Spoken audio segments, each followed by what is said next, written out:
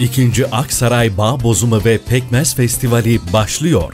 Sizleri Hasan Dağı'nın bereketli topraklarından sofralarımıza gelen meşhur Aksaray üzüm pekmezinin hikayesine tanık olmaya, sonbaharda üzüm bağları içinde Hasan Dağı'nı en güzel yerden seyran etmeye, en güzel üzüm pekmezini seçmekte zorlanan jürimize destek olmaya, her şeyden öte mis gibi köy havası, çocuk eğlenceleri ve finalde ise son günlerin popüler ismi.